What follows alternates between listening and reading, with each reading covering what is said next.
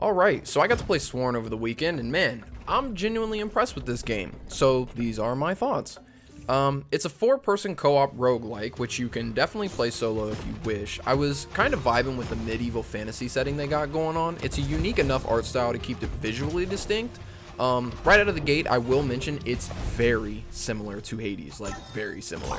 Um, and that's not a dig against the game at all. The game is being developed by Windwalk Games, who I've never heard up to this point, and I can say that as of now, the quality of the game is fairly good. There are a few bugs, there are a few sound things that just don't seem to maybe function sometimes, um, but overall, I enjoyed my time with it over the course of the weekend. I played it both solo and co-op, and both experiences were pretty well handled.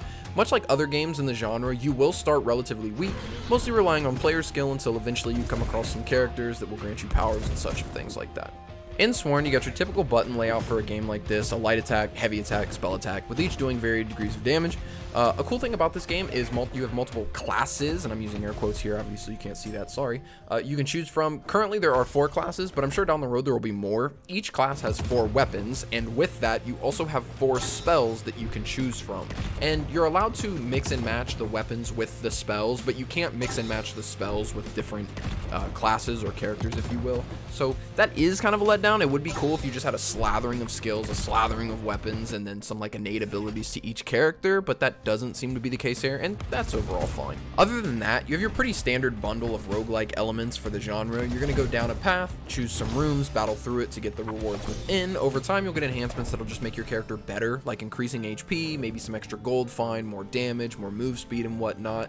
Then eventually, you're just walking into rooms and just brutalizing the enemies in it with crazy damage and four dashes. All of this culminates into a boss fight, which you'll escape with your rewards, upgrade your stats, and then you'll just dive back in. So if you're sitting there saying to yourself, oh, you're describing insert my favorite roguelike here, yeah, I am. This game definitely follows a trend, and I think it does it well enough that I don't have any issues with it at the current state that it's in. Given the fact that it's a closed playtest, my expectations were low, especially since I've never heard of this company or game until literally the day before writing this.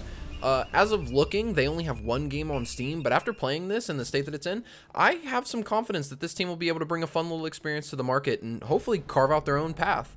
So, if you've made it to the end of the video, A, thanks for watching, and B, hopefully I'll catch you in the next one. Like, subscribe, see ya.